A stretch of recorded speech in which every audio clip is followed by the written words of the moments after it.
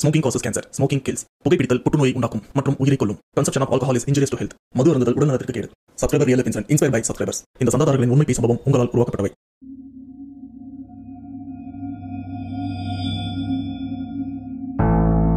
Hi வணக்கம். Welcome to channel back to ரேபென் subscriber real life இன்சிடென்ட்ல இன்னைக்கு நம்ம ரொம்பவே விறுவிறுப்பான அண்ட் ரொம்பவே பரபரப்பான ஒரு உண்மை சம்பவத்தை பற்றி தான் பார்க்க போகிறோம் அண்ட் இந்த உண்மை சம்பவம் எங்கே நடந்திருக்குன்னு பார்த்தீங்கன்னா நம்ம ஸ்ரீலங்காவில் அதாவது இலங்கையில் தான் இந்த ஒரு சம்பவமும் நடந்திருக்கு. அதுவும் வேற யாருக்கும் இல்லை காலேஜ் பசங்களுக்கு தான் இந்த ஒரு சம்பவமும் நடந்திருக்கு. ஆனால் அந்த ஒரு இன்சிடென்ட் போகிறதுக்கு முன்னாடி இந்த மாதிரி பீ சம்பவம் உங்கள் லைஃப்பில் நடந்திருக்கா? அப்படி நடந்திருந்ததுன்னா அதை நீங்கள் என்கிட்ட ஷேர் பண்ணணும்னு நினச்சிங்கன்னா டிஸ்பிளேல தெரியுற இந்த வாட்ஸ்அப் நம்பருக்கு உங்கள் லைஃப்பில் நடந்த அந்த பீ சம்பவத்தை ஒரு வாய்ஸ் நோட்டா எனக்கு நீங்க ஷேர் பண்ணுங்க. அப்படி நீங்க ஷேர் பண்ணது உண்மை சம்பவம் உண்மையில தில்லிங்க அதை நான் கண்டிப்பா நம்ம சேனல்ல போஸ்ட் பண்றேன். ஸோ அவரை பேசாம வீடியோவில் போலாம். நீங்க நம்ம சேனல் புதுசுனா மறக்காம சேனல் சப்ஸ்கிரைப் பண்ணுங்க பெல் பட்டன் கிளிக் பண்ணுங்க. இப்போ நம்ம வீடியோல போகலாம்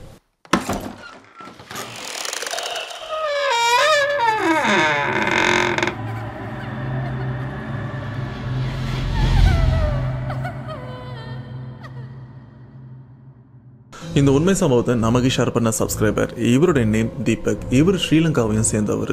அண்டு இந்த சம்பவம் இவருக்கு மட்டும் இல்லை இவரோட ஃப்ரெண்ட்ஸ் எல்லாருக்குமே ஒரு கேங்கா தான் நடந்திருக்கு. அதுக்கு ரீசன் ஃப்ரெண்ட்ஸ் எல்லாருமே சேர்ந்து ஒரு ட்ரிப்பு போகலாம் அப்படின்னு பேய் இருக்கிற இடத்துல போயிட்டு தெரியாதனமா மாட்டிக்கிறாங்க. அடுத்தடுத்து நடக்கிற அந்த திக் திக் நிமிஷங்களை தான் இப்போ நான் உங்களுக்கு எக்ஸ்பிளைன் பண்ண போறேன். இந்த சம்பவத்தை நமக்கு ஷேர் பண்ண தீபக் ஸ்ரீலங்காவில் காலேஜும் முடிக்கிறாரு. அண்ட் தீபக் இவரோட கிளாஸ்மேட் நிறைய ஃப்ரெண்ட்ஸ் எல்லாருமே இருந்துட்டு இருக்காங்க. அண்டு பொதுவாக இந்த காலேஜ் முடிக்க போகிறனாலே கண்டிப்பாக காலேஜில் இருக்கிற வரைக்கும் நமக்கு அந்த அருமை தெரியாது. பட் அந்த இடத்த விட்டு போகும்போது தான் ஏதோ ஒரு விஷயத்த வந்து நம்ம விட்டு போகிறோமே அப்படின்னு கண்டிப்பாக நம்ம எல்லாரும் ஃபீல் பண்ணியிருப்போம் அது ஸ்கூலாக இருக்கட்டும் காலேஜாக இருக்கட்டும் ஏன் தங்கிட்டு இருந்த வீடாக கூட இருக்கட்டும். சேம் இந்த மாதிரி தான் தீபக் அண்ட் அவங்க ஃப்ரெண்ட்ஸ் எல்லாருமே. டெய் காலேஜும் முடிஞ்சிருச்சு. இதுக்கப்புறம் ஆளாளுக்கு ஒரு ஒரு மூளை போக போகிறோம் அண்ட் எனக்கு தெரியாது எத்தனை பேர் நம்மள கான்டாக்டில் இருக்க போகிறீங்க இல்லை அப்படின்னு. ஸோ இருக்கிற இந்த ஒரு கொஞ்ச நாள் நம்ம கொஞ்சம் என்ஜாய் பண்ணிக்கலாம். அண்ட் இந்த ஒரு கேப்பில் ஒரு நல்ல மெமரியாக ஒரு ட்ரிப் ஒன்று போயிட்டு வரலாம் அப்படின்னு பிளான் பண்ணுறாங்க அதுக்கேற்ற மாதிரி டிஸ்கஷனும் போயிட்டுருக்கு. ஸ்ரீலங்காவில் இருக்கிற ஏதாச்சும் ஒரு பிளேஸ் போகலாம் அப்படின்னு இவங்களும் பிளான் பண்ணிட்டு இருக்காங்க.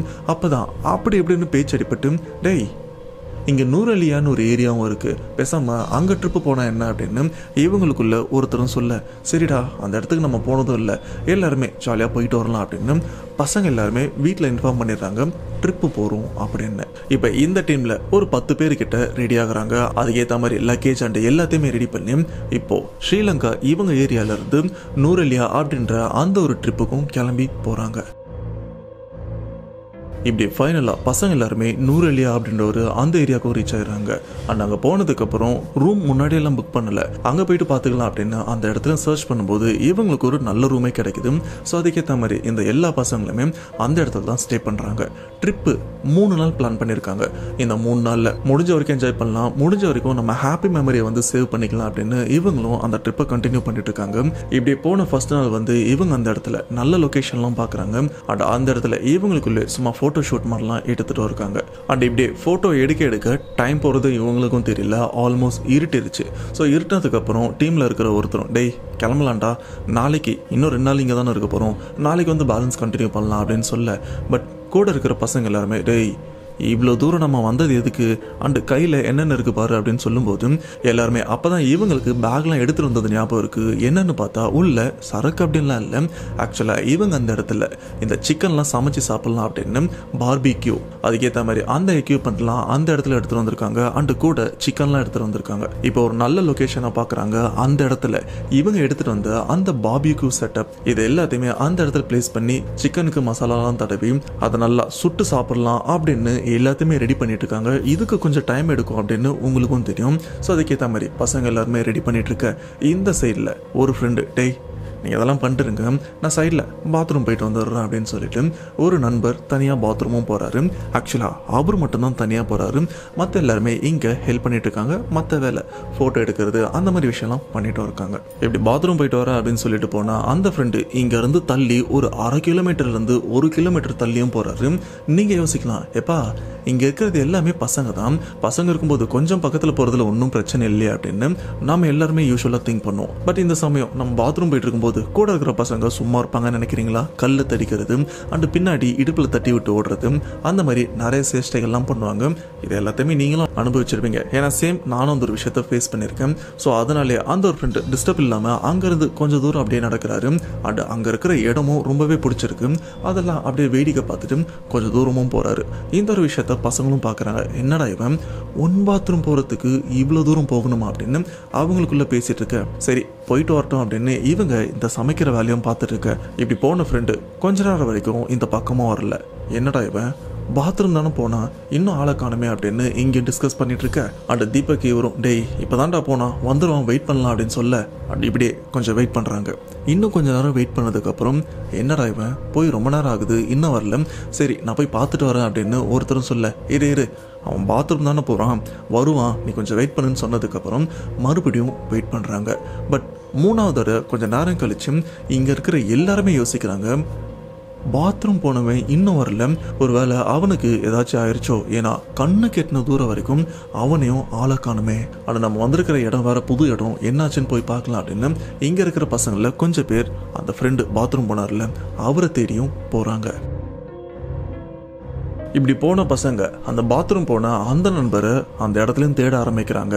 ஆனால் அந்த நண்பர் எங்கே போனார் அப்படின்னு இவங்களுக்கும் தெரியல.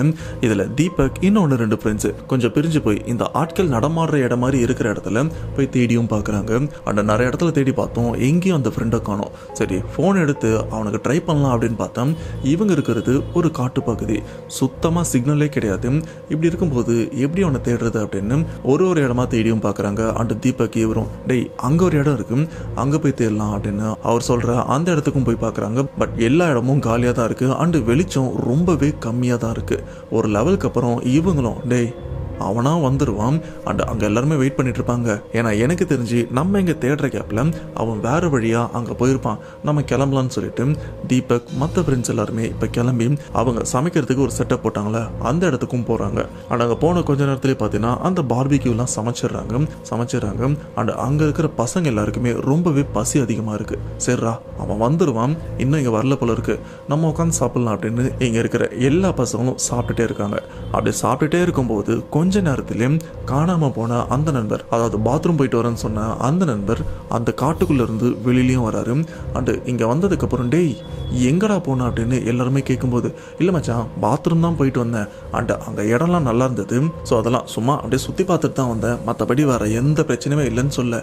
இப்போ தான் இங்கே இருக்கிற ஃப்ரெண்ட்ஸ் எல்லாருக்குமே கொஞ்சம் ரிலாக்ஸ் ஆகுது. போனவன் வந்துட்டான் அப்படின்னு. அண்ட் இதுக்கப்புறம் இங்கே எல்லாருமே சாப்பிட்டு முடிக்கிறாங்க. சாப்பிட்டு முடிச்சுட்டு அந்த பார்பிக்யூ செட்டப் அது எல்லாத்தையுமே பேக் பண்ணிட்டு இந்த இடத்த விட்டு கிளம்புறாங்க அண்டு இப்படி கும்பலாக இவங்க போயிட்டு இருக்கிற வழியில் பார்த்தீங்கன்னா ஒரு சின்ன கோவிலும் இருக்குது ஆனால் அந்த கோவில்கிட்ட ஒரு அம்மாவும் உட்காந்துட்டு இருக்காங்க வயசானவங்க.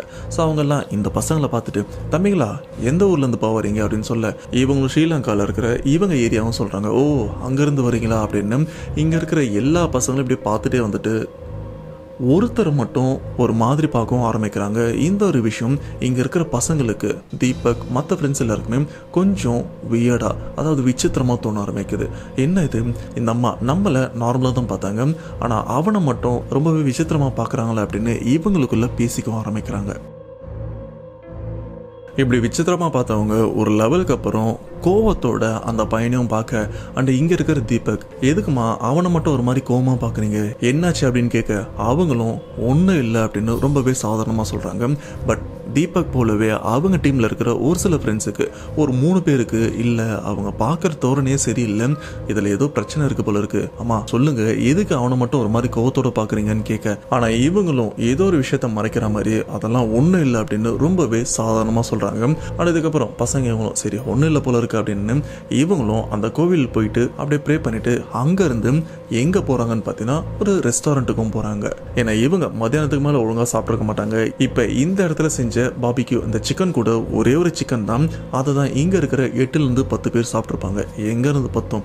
ஸோ அதனால தான் ஒரு ரெஸ்டாரண்ட் போயிட்டு நல்லா டின்னர் சாப்பிட்லாம் அப்படின்னு போகிறாங்க அண்ட் அங்கே ரெஸ்டாரண்ட் உள்ள போனதுக்கப்புறம் இந்த டீமில் ஒரு பையன் பாத்ரூம் போயிட்டு லேட்டாக வந்தார் பார்த்தீங்களா அவர் ஒரு மாதிரி அமைதியாகவும் இருக்கார்.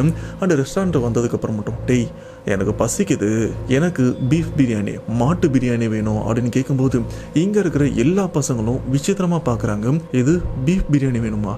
இது வரைக்கும் இவன் சிக்கன் மட்டன் பிரியாணி தான் சாப்பிட்ருக்கான் அண்ட் இவனுக்கு சுத்தமாக பீஃப் பிரியாணியே பிடிக்காது. இப்போ என்ன வாண்டடாக கேட்குறான் அப்படின்னு இவங்க எல்லாருமே விசித்திரமாக இப்போ அந்த பையனை பார்க்குறாங்க அதாவது அந்த கோவில் அந்த அம்மா ஒரு மாதிரி பார்த்தாங்களே சேம் அதே மாதிரி இப்போ இந்த பசங்க பார்க்குறாங்க சரி ஃப்ரெண்டு ஆசையாக கேட்குறான் போல இருக்கு. இது வரைக்கும் இவனும் சாப்பிட்டதில்ல. வாங்கி தரலாம் அப்படின்னு பீஃப் பிரியாணி ஒன்றும் ஆர்டர் பண்ணுறாங்க அந்த மற்ற பசங்க எல்லாருமே அவங்களுக்கு பிடிச்ச மாதிரி சிக்கன் மட்டன் அந்த மாதிரி ஆர்டர் பண்ணி நல்லா சாப்பிட்றாங்க. இப்போ பீஃப் பிரியாணி வந்ததுக்கப்புறம் இந்த ஃப்ரெண்டும் அந்த பீஃப் பிரியாணி கொஞ்சம் கூட மிச்சம் வைக்காம ஃபுல்லாக சாப்பிட்றாங்க. இதையும் இங்கே இருக்கிற பசங்க கொஞ்சம் விசித்திரமாக தான் பார்க்குறாங்க என்ன இவன் ஒரு மாதிரி நடந்துக்கிறானே அப்படின்னு. இப்படியே சாப்பிட்டு முடிச்சதுக்கப்புறம் இந்த இடத்த விட்டு இவங்க தங்கி இருக்கிற ரூமுக்கும் போகிறாங்க சரி அப்படியே கொஞ்சம் ஆனால் பசங்க எல்லாருமே பேசிட்டு தூங்கவும் ஆரம்பிக்கிறாங்க. இப்படி நடுராத்திரியும் வருது. அந்த நடுராத்திரி வரும்போது நம்ம தீபக் இவருக்கும் பாத்ரூம் வருது. சரி எந்திரிச்சு போயிட்டு வரலாம் அப்படின்னு இவரும் போயிட்டு வராரு. அப்படி போயிட்டு படுக்கலான்னு வரும்போது இவங்க ரூமோட டோர் ஓப்பன்லேயும் இருக்கும் என்ன? ரூமோட டோர் ஓப்பனில் இருக்கு.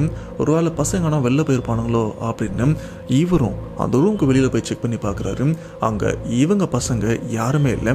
எல்லாருமே தூங்கிட்டு தான் இருக்காங்க. என்னடா வெளியில் யாருமே இல்லை. ஒரு வேளை பசங்க டோரை சாத்துறதுக்கு மறந்துருப்பாங்களோ? சரி நம்ம சாத்திட்டு தூங்கலாம் அப்படின்னு இவரும் அந்த டோரை சாத்திட்டு படுக்க வராரு. அண்ட் தீபக் இவரும் தூங்கலான்னு ட்ரை பண்ணுறாரு ஆனால் தூக்கம் வரவும் இல்லை. சரி மொபைல் நோண்டிட்டு இருக்கலாம் அப்படின்னு மொபைல் எடுத்து சும்மா நோண்டிட்டும் இருக்காரு. அப்போ மொபைல் யூஸ் பண்ணிகிட்டே இருக்கும்போது இந்த ரூமோட டோர் ஓப்பனும் ஆகுது. இதை தீபக் இவரும் பார்க்குறாரு ரூமுக்கு வெளியில் ஒரு உருவமும் கருப்பாக நின்றுருக்கு. அண்ட் அந்த உருவம் ரூம்குள்ளே என்ட்ராகுது அண்ட் இவருக்கும் செம்ம ஷாக்கு என்னடா இது? ஏதோ ஒன்று உள்ளே வருது அப்படின்னு. அந்த உருவம் கொஞ்சம் கிட்ட வந்ததுக்கு அப்புறம் தான் தீபக் இவருக்கே தெரியுது. அந்த உருவம் வேற யாருமே இல்லை. இவங்க டீம்ல ஒருத்தர் பாத்ரூம் போயிட்டு வர அப்படின்னு சொல்லிட்டு லேட்டாக வந்திருப்பாரு.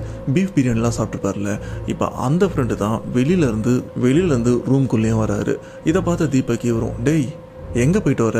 நான் வெளியில் பார்த்தனே யாருமே இல்லை. நீ எங்கே போயிட்டு வர அப்படின்னு கேட்க ஆனால் அந்த ஃப்ரெண்டு தீபக் இவரை ஒரு மாதிரி தான் பார்த்துட்டு இருக்காரு. எந்த ரிப்ளைவும் பண்ண மாட்டார். இருந்தாலும் தீபக் இவரும் கொஞ்சம் ஃபோர்ஸ் பண்ணி அந்த ஃப்ரெண்டு கிட்ட டேய் எங்கே போயிட்டு வரட்டா அப்படின்னு கேட்கும்போது சடனாக அந்த ஃப்ரெண்ட் என்ன பண்ணுறாருன்னா ஒரு மாதிரி கோவத்தோட வந்து தீபக்கோட கழுத்தை பிடிச்சி நெரிக்கவும் ஆரம்பிக்கிறாரு. அந்த தீபக் இவரும் ஒரு மாதிரி வலியோட கத்தும் போது இங்கே தூங்கிட்டு இருந்த பசங்களில் ஒன்று ரெண்டு பேர் எழுந்துச்சிடுறாங்க அண்ட் அதுக்கப்புறம் மொத்த பசங்களும் எந்திரிச்சு அந்த ஃப்ரெண்டு கிட்ட இருந்து தீபக் இவரையும் காப்பாத்துறாங்க. அண்ட் எல்லாருமே ஒரு மாதிரி அந்த பையனையும் என்னாச்சு இவன்? ஏன் லூசுத்தனமாக பண்ணிட்டு இருக்கான் அப்படின்னு யோசிச்சுட்டும் இருக்க. தீபக் இவருக்கும் கிளியராக புரியுது. இல்லை சம்திங் ஏதோ ஒரு ப்ராப்ளம் ஏன்னா இவன் நம்ம காட்டுக்குள்ளே போனதுக்கப்புறம் பாத்ரூம் போயிட்டு வரான்னு போனவன் அதுக்கப்புறத்துல இருந்து இவன் நடவடிக்கையே சரியில்லை. அந்த கோவிலில் வேற அந்த வயசானவங்களும் இவனை ஒரு மாதிரி பார்த்துட்டு இருந்தாங்க சம்திங் ஏதோ ப்ராப்ளம் இருக்கு. சரி அடுத்து என்ன நடக்குதுன்னு பார்க்கலாம் அப்படின்னு இவரும் ஃப்ரீயாக விடுறாரு. அண்ட் அன்னைக்கு நைட்டு அதுக்கப்புறம் எந்த பிரச்சனையுமே இல்லாமல் அப்படியே தூங்கி அடுத்த நாள் எழுந்திருக்கிறாங்க இப்படி பொழுது விடிஞ்ச உடனே ஃபர்ஸ்ட் தீபக் இவர் யோசிக்கிற விஷயம் இவனுக்கு ஏதோ பிரச்சனை இருக்கு எங்கேயோ போயிட்டு ஏதோ பண்ணிட்டு வந்திருக்கான் போல இருக்கு. இப்போ நம்ம பண்ண வேண்டிய விஷயம் நேத்து நம்ம ஒரு கோயிலுக்கு போனல அங்க இருக்கிற அந்த அம்மா கூட இவனும் ஒரு மாதிரி பார்த்தாங்களே மேபி அவங்களுக்கு கூட ஏதாச்சும் தெரிஞ்சிருக்க வாய்ப்பு இருக்கு. ஏன்னா அவங்க பார்த்த பார்வையே சரியில்லை.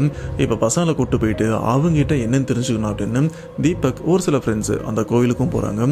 அண்டு அந்த வயசானம்மாவை பார்த்து மா நேற்று என் ஃப்ரெண்டை ஒரு மாதிரி பார்த்தீங்களே அதுக்குள்ளே ஏதோ ஒரு அர்த்தம் இருக்குது அது என்ன மாதிரின்னு புரியல. ஆனால் ஏதோ ஒன்று இருக்குது ஏன்னா நாங்கள் ரூமுக்கு போனதுக்கப்புறம் என் ஃப்ரெண்டு ரொம்பவே விசித்திரமாக நடந்துக்க ஆரம்பித்தான் என்னன்னு கேட்டதுக்கு என் கழுத்தை நெரிச்சு என்னை நிம்மதியாக இருக்க விடு. என்னை தொந்தரவு பண்ணாத அப்படின்னு ஒரு மாதிரி வாய்ஸில் அது என் ஃப்ரெண்டோட வாய்ஸே இல்லை ஒரு மாதிரி கொடூரமான குரலில் என்னை மிரட்டவும் ஆரம்பித்தான் அவனுக்கு என்னாச்சு? என்ன பிரச்சனை? உங்களுக்கு ஏதோ தெரியும். தயவு செஞ்சு சொல்லுங்க அப்படின்னு சொன்னதுக்கப்புறம் அவங்களும் ஒரு சில விஷயங்களை சொல்கிறாங்க ஆக்சுவலாக இந்த பசங்க எல்லாருமே நேற்று காட்டுக்குள்ளே போயிட்டு ஃபோட்டோஷூட்லாம் எடுத்திருப்பாங்க. கடைசியாக பொழுது போனதுக்கப்புறம் அந்த இடத்துல பாபிக்யூ செய்கிறேன் அப்படின்னு கோழியெல்லாம் நல்லா வறுத்து சாப்பிட்ருப்பாங்க இந்த அசைவ பொருளை இந்த இடத்துல சமைச்சதுனால தான் பிரச்சனை வந்தது அப்படின்னு நீங்கள் நினைப்பீங்க. பட் அது பிரச்சனை கிடையாது. இந்த இடத்துல ஃப்ரெண்டு ஒருத்தர் பாத்ரூம் போகிறேன்னு சொல்லிட்டு போயிருப்பார்ல. அட்டு போயிட்டு ரொம்பவே லேட்டாக தானே ரிட்டர்ன் வந்திருப்பாரு. அவர் போன கேப்பில் என்னென்ன நடந்திருக்கு அண்ட் என்ன பண்ணார் அப்படின்ற விஷயத்தை தான் இந்த கோவிலில் இருக்கிற இந்த அம்மாவும் சொல்கிறாங்க இப்போ அந்த ஃப்ரெண்டு பாத்ரூம் போகிறா அப்படின்னு சொல்லிட்டு இந்த இடத்த விட்டும் கிளம்புறாரு. அப்படி போன ஃப்ரெண்டு அப்படியே வேடிக்கை பார்த்துட்டே போகிறாரு அந்த போகிறதுக்கு முக்கியமான ரீசன் பார்த்தீங்கன்னா அவருக்கு சிகரெட் பிடிக்கிற பழக்கமும் இருக்குது அதனால் தனியாக போயிட்டு சிகரெட் பிடிச்சிட்டு வரலாம் அப்படின்னு அந்த காட்டில் பசங்க கண்ணுல இருந்து கொஞ்சம் தள்ளியும் போயிருக்காரு. அண்ட் அந்த இடத்துல சிகரெட் பிடிக்கிறதுக்கு ஒரு நல்ல இடமும் பார்க்குறாரு அப் அப்போதான் அந்த இடத்துல ஆளுங்களாம் உட்காரதுக்கு ஏற்ற மாதிரி இந்த பிளேவுட்லேயே பாறைங்களாக இருந்தால் எப்படி இருக்கும்? பாக்ஸ் ஷேப்பில் அந்த மாதிரி இருக்கிற ஒரு இடத்தையும் பார்க்குறாரு சரி அங்கே போயிட்டு ரிலாக்ஸாக உட்காந்து சிகரெட் பிடிக்கலாம் அப்படின்னு அந்த இடத்தையும் உட்காந்து இப்போது பற்ற வச்சு சிகரெட்டும் பிடிக்கிறாரு. இது மட்டும் இல்லாமல் இந்த பையன் சிகரெட் பிடிச்சிட்டு அந்த பாறை மாதிரி இருக்கு பார்த்தீங்களா அந்த இடத்துல சிறுநீரும் கழிச்சிட்டு இருக்கான். யூரினும் போயிருந்திருக்கான். பட் அப்படி அந்த இடத்துல உண்மையிலே பாறை தான் இருக்கான்னு பார்த்தீங்கன்னா அது பாறை கிடையாது. அங்கே இருக்கிறது ஒரு சமாதி. இந்த பையன் இந்த ஒரு விஷயத்த தெரிஞ்சு பண்ணானா இல்லை தெரியாமல் பண்ணானான்னு தெரியல. அந்த சமாதி மேலே உட்காந்து தான் ஈவனும் சிகரெட்டை பற்ற வச்சு பிடிச்சிருக்கான். ஆனால் அந்த சமாதி மேலே ஏறி நின்று தான் காலை வச்சு அது மேலே யூரினும் பாஸ் பண்ணியிருக்கான். இந்த ஒரு விஷயம் அங்கே இருக்கிற அந்த சமாதிக்கு சொந்தமான அந்த ஆன்மாக்கு சுத்தமாக பிடிக்கல. ஏன்னா யாராச்சும் ஒருத்தவங்க நம்ம இருக்கிற இடத்த அசிங்கப்படுத்தினா நமக்கு பிடிக்குமா? சேம் அதே மாதிரி தான் அங்கே இருக்கிற அந்த ஆன்மாக்கும் இந்த ஒரு விஷயம் சுத்தமாக பிடிக்காம அப்போவே அந்த பையனை அந்த ஆன்மா பொசஸ் பண்ணி இவனை ஏதாச்சும் இவன் வாழ்க்கையிலே மறக்க முடியாத ஒரு தண்டனை கொடுக்கலாம். அது மரணமாக இருந்தாலும் பரவாயில்ல அப்படின்னு இவனை பொசஸ் பண்ணியிருக்கு. இதை நீங்கள் எப்படியே விட்டீங்கன்னா கண்டிப்பாக உங்கள் ஃப்ரெண்டை எடுக்கிறது கூட சான்ஸ் இருக்குது அப்படின்னு அந்த வயசான அம்மாவும் சொல்ல இப்போ இங்கே இருக்கிற பசங்களாம் பயங்கரமாக பயந்து போகிறாங்க ஏன்னா இப்போ நம்ம ஃப்ரெண்ட்ஸ் எல்லாம் கூப்பிட்டுட்டு வேறு ஊருக்கு வந்திருக்கோம். இந்த இடத்துல ஏதாச்சும் பிரச்சனைனா அவங்க ஃபேமிலியும் நம்மளை தான் கேட்பாங்க. அது விடுங்க அது பிரச்சனை கிடையாது. பட் ஃப்ரெண்டை இழந்துட்டா என்ன பண்ணுறது அப்படின்னு இவருக்குள்ளே ஒரு பயமும் வருது. அண்டு தீபக் இவரும் அந்த வயசான அம்மாயிட்ட மா இந்த பிரச்சனையிலேருந்து எங்கள் ஃப்ரெண்டை காப்பாற்றுறதுக்கு ஏதாச்சும் வழி இருக்கா? அப்படின்னு கேட்கும்போது இல்லைப்பா இந்த ஒரு விஷயம் இருக்கு இல்லைன்னு என்னால் கணிச்சு தான் சொல்ல முடியும். அண்ட் இதிலிருந்து நீங்கள் வெளியில் வரணும்னா உடனே கொஞ்சம் கூட டைம் வேஸ்ட் பண்ணாமல் உங்கள் சொந்த ஊருக்கே போயிருங்க. அண்ட் அங்கே போயிட்டு ஏதாச்சும் ஒரு நல்ல தர்காவில் பார்த்து இந்த பையனுக்கு நடந்த விஷயத்த சொல்லி இதிலிருந்து காப்பாற்றுறதுக்கு முயற்சி பண்ணுங்க. லேட் பண்ணாதீங்கன்னு சொன்ன உடனே பசங்க எல்லாருமே அன்னைக்கு நைட்டு அந்த ட்ரிப்பை அப்படியே கேன்சல் பண்ணிட்டு அங்கேருந்து இவங்க சொந்த ஊருக்கு ஸ்ரீலங்காவில் இவங்க சொந்த ஏரியாவுக்கும் கிளம்பி வராங்க. ஆனால் தீபக் அண்ட் மற்ற ஃப்ரெண்ட்ஸ் எல்லாருமே இந்த பாதிக்கப்பட்ட இந்த ஃப்ரெண்டை கூட்டு வரது வரதுக்கு படாத பாடுபட்டிருக்காங்க.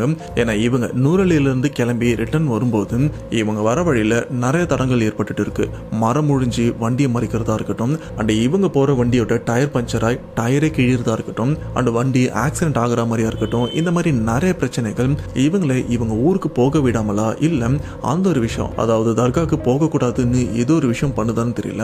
ஆனால் இவங்களால ஃப்ரீயாக இவங்க சொந்த ஊருக்கே போக முடியல.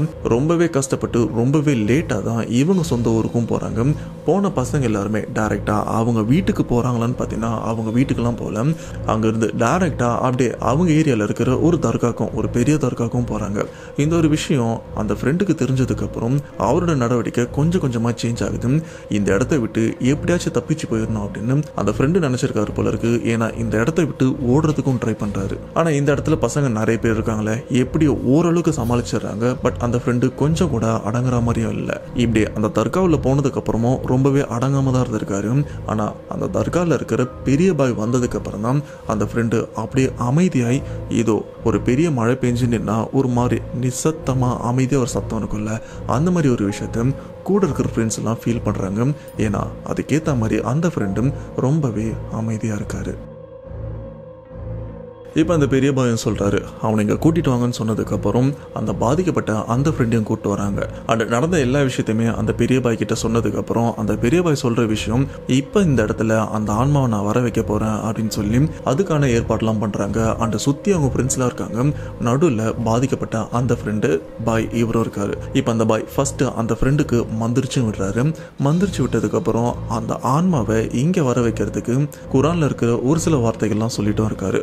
அப்படி சொன்ன கொஞ்ச நேரத்தில் பார்த்தீங்கன்னா இந்த இடத்துல ரத்த வாடை அடிக்கிறது. இங்கே இருக்கிற எல்லா ஃப்ரெண்ட்ஸுக்கும் ஃபீல் ஆகுது. அந்த ரத்த வாடை இவங்களுக்கே தாங்க முடியல. அப்படி அந்த ரத்த வாடை வந்த கொஞ்ச நேரத்துல பார்த்தீங்கன்னா அந்த இடத்துல ஒரு கருப்பான உருவமும் வந்து நிற்குது அது ஒரு பெண்ணோட உருவம் தான். அண்ட் அந்த பெண்ணோட உருவத்தோட மூஞ்செல்லாம் பார்த்தீங்கன்னா ரத்த ரத்தமாக இருக்கு. அந்த ரத்த வாடை தான் இந்த இடம் ஃபுல்லாக ஒரு மாதிரி கெட்ட நாத்த மாதிரியும் அடிச்சிருக்கு. இப்போ பாய் இவரும் கேட்குறாரு உனக்கு என்ன வேணும்? எதுக்கு இந்த பையனை பிடிச்சிருக்கு? அப்படின்னு. அதுக்கு அந்த ஆன்மா சொல்கிற பதில் இவனை பிடிச்சிருக்கு இவனை ஏதாச்சும் பண்ணணும் அப்படின்லாம் இவன் நான் பின்தொடர்ந்து இவன் உடம்புக்குள்ளே இல்லை. இவன் என்னுடைய இடத்துக்கும் வந்தான் வந்தது மட்டும் இல்லாமல் என் இடத்துல அசுத்தம் பண்ணியிருக்கான் என் சமாதி மேலேயே உட்காந்து சிகரெட் பிடிக்கிறதா இருக்கட்டும் என் சமாதி மேலேயே உட்காந்து சிறுநீர் கழிக்கிறது இந்த மாதிரி என் இடத்த அவமதிக்கிற மாதிரி இந்த ஒரு விஷயத்தெல்லாம் பண்ணியிருக்கான் இந்த ஒரு விஷயம் எனக்கு சுத்தமாக பிடிக்கல. அதனால தான் இவனோட உடம்ப நான் ஆக்கிரமிச்சிருக்கேன் அப்படின்னு சொல்லும்போது இங்கே இருக்கிற பாய் இவரும் இந்த ஒரு விஷயத்த இவன் தெரிஞ்சே பண்ணல தெரியாம தான் பண்ணியிருக்கான் தெரியாம பண்ண விஷயத்துக்கெல்லாம் இந்த மாதிரி பண்ணக்கூடாது அப்படின்னு அந்த ஆன்மாயிட்ட சொல்ல பட் அந்த ஆன்மாவும் அடங்குற மாதிரி இல்லை. எண்ட் தெரி அந்த ஆன்மாவை பொறுத்த வரைக்கும் இந்த பையன் தப்பு பண்ணியிருக்கான் இதுக்காகவே இவனை நான் ஏதாச்சும் பண்ணுவேன் கண்டிப்பாக இவன் உயிரை எடுக்கிறதுக்கு கூட நான் தயங்க மாட்டேன் அப்படின்னு சொல்ல பட் பாய் இவரும் இதெல்லாம் பண்ணக்கூடாது அப்படின்னு சொல்ல நீங்கள் சொல்கிற பேச்செல்லாம் நான் கேட்க மாட்டேன். அண்டு என்ன உங்களால் தடுக்கவும் முடியாது அப்படின்னு சொல்ல அப்போ பாய் இவரும் நான் நினைச்சேன்னா உன்னோட ஆன்மாவையே அழிச்சிருவேன். அது உனக்கும் தெரியும்ல அப்படின்னு கேட்க இல்லை இல்லை அந்த மாதிரிலாம் பண்ணிடாதீங்க இவனை நான் விட்டு போனேன்னா இவன் எனக்கு ஒரு விஷயம் பண்ணணும். அது என்னன்னா அசுத்தமா இருக்கிற என்னுடைய சமாதியை வந்து இவன் தான் வந்து சுத்தப்படுத்தணும். சுத்தப்படுத்துறது மட்டும் இல்லாம நானும் ரொம்ப நாளாக பசியோட தான் அலைஞ்சிட்டு இருக்கேன் எனக்கு அந்த இடத்துல எனக்காக பீஃப் பிரியாணியை வந்து படைக்கணும். இந்த ஒரு விஷயத்த பண்ணான்னா இந்த பையனை நான் விட்டுறேன். இது மட்டும் இல்லாம இன்னொரு கண்டிஷன் எக்காரணத்து கொண்டும் இவன் வாழ்க்கையில் என்ன ஆனாலும் திரும்ப ஏன் சமாதிக்கிட்ட இவன் வரவே கூடாது? அப்படி இவன் மறுபடியும் தெரிஞ்சோ தெரியாமலும் இந்த இடத்துல வந்தானா மறுபடியும் இவனை நான் பொசாஸ் பண்ணுவேன். அப்படி நான் பொசாஸ் பண்ணால் உங்களால் தடுக்கவும் முடியாது. அது உங்களுக்கும் தெரியும் அப்படின்னு சொல்லும்போது பாய் இவரும் யோசிக்கிறாரு. அப்படி யோசிச்சதுக்கப்புறம் அவரும் சொல்கிறாரு இல்லை இந்த பையன் உன்னுடைய கோரிக்கையெல்லாம் நிறைவேற்றினதுக்கப்புறம் கண்டிப்பாக உன் பக்கமே தலை வச்சு படுக்க மாட்டான். இப்போ இவனை விட்டு போயிரு அப்படின்னு சொன்னதுக்கப்புறம் அந்த ஆன்மாவும் இந்த இடத்துல எந்த தொந்தரவும் பண்ணாம போயிருது. ஸோ இதுக்கப்புறம் பாய் இவரும் அந்த பாதிக்கப்பட்ட அந்த ஃப்ரெண்டு கிட்ட நீ அந்த ஆன்மாவோட சமாதியை அசுத்தப்படுத்திட்டு அந்த இடத்த சுத்தப்படுத்திட்டு அந்த ஆன்மாவோட பசி போக்குற அளவுக்கு அந்த இடத்துல அந்த ஆன்மாக்கு நீ சாப்பாடும் வைக்கணும். இது மட்டும் இல்லாம இதெல்லாம் முடிச்சதுக்கு அப்புறம் உன் வாழ்க்கையில என்ன ஆனாலும் அந்த பக்கமே போகக்கூடாது அப்படின்னு சொல்றாங்க. அதுக்கேற்ற மாதிரி அந்த ஃப்ரெண்டும் அந்த விஷயத்தெல்லாம் பண்ணிட்டு ஸ்டில் இந்த ஒரு சம்பவம் நடந்து ஒரு சில வருஷம் ஆனாலும் இப்போ கூட நூறலி அப்படின்ற ஒரு ஏரியாவுக்கு போகிறது கூட அவரும் யோசிக்கிறாரு. ஏன்னா கொஞ்சம் லேட் பண்ணியிருந்தாலும் அந்த ஃப்ரெண்டோட உயிர் போயிருக்கிறதுக்கு நிறையவே வாய்ப்பு இருக்கிறதா எங்கே இருக்கிறமோ சொல்லியிருக்காங்க. அண்ட் இதன் மூலியமா இந்த சம்பவத்தை நமக்கு ஷேர் பண்ண தீபக் ஒரு விஷயத்தையும் நம்ம சப்ஸ்கிரைபர் எல்லாருக்குமே சொல்லிக்க விரும்புறது. இன்கேஸ் உங்க ஃப்ரெண்ட்ஸ் அண்ட் ஃபேமிலி கூட நீங்க ஒரு ட்ரிப்பு இல்லைன்னா வெளியில எங்கன்னா போனீங்கன்னா இந்த மாதிரி சமாதி ஏதாச்சும் ஒரு இடத்த நீங்க பார்த்தீங்கன்னா அந்த இடத்த அசுத்தப்படுத்துற மாதிரி எந்த ஒரு விஷயமும் பண்ணிடாதீங்க. ஏன்னா அப்படி பண்ணி தான் என் ஃப்ரெண்டோட லைஃப்ல இப்படிப்பட்ட ஒரு விஷயமும் நடந்திருக்கு எங்க கண்ணு முன்னாடி. ஸோ இந்த மாதிரி விஷயத்த நீங்க தெரிஞ்சோ தெரியாமலோ பண்ணீங்கன்னா கண்டிப்பா நீங்க கஷ்டப்படுறது மட்டும் இல்லாம உங்க கூட இருக்கிறவங்களும் கஷ்டப்படுவாங்க. அந்த ஒரு விஷயத்த மட்டும் பண்ணாதீங்க அப்படின்னு ரொம்பவே ஹம்பிள் ரெக்வஸ்டா நம்ம சப்ஸ்கிரைபரான தீபக் அவரும் சொல்ல சொன்னாரு. ஸோ உங்ககிட்ட அதை பாஸ் பண்ணிட்டேன். ஸோ எனக்கு தெரியும் இந்த மாதிரி விஷயத்த மோஸ்டா யாருமே அதாவது இறந்து போன ஒரு இடத்த வந்து நாம இழிவுபடுத்துற மாதிரி எதுவுமே பண்ண மாட்டோம். பட் எதையும் கேட்காத ஒரு சில பேர் அட நான் பண்ணுவேன்டா அப்படின்னு போய் பண்ணுறதுக்கும் வாய்ப்பு இருக்கு. ஸோ அவங்க சம்பவத்தையும் அடுத்தடுத்து நமக்கு ஷேர் பண்ணுவாங்க. அதையும் நம்ம கூடிய சீக்கிரத்தில் பார்த்துடலாம் ஸோ தீபக் இவருக்கும் இவங்க ஃப்ரெண்ட்ஸுக்கும் நடந்த இந்த ஒரு சம்பவத்தை கேட்கும்போது உங்களோட தாட் என்ன? மறக்க மக்க முன் பாக்ஸில் மென்ஷன் பண்ணுங்கள் அண்ட் வீடியோ ஒரு மக்களே மறக்காமல் இந்த வீடியோவுக்கு ஒரு லைக் பண்ணுங்க. இந்த வீடியோவை பற்றி வேல்யூபிளான கமெண்ட்ன்றது வந்து மறக்காம கமெண்ட் பாக்ஸில் மென்ஷன் பண்ணுங்க. இது மட்டும் இல்லாமல் டிஸ்கிரிப்ஷனில் நம்ம சேனலோட சோஷியல் மீடியா லிங்க் எல்லாமே கொடுத்துருக்கேன். ஸோ எல்லாத்தையுமே மறக்காமல் ஃபாலோ பண்ணி சப்போர்ட் பண்ணுவீங்கன்னு நம்புகிறேன்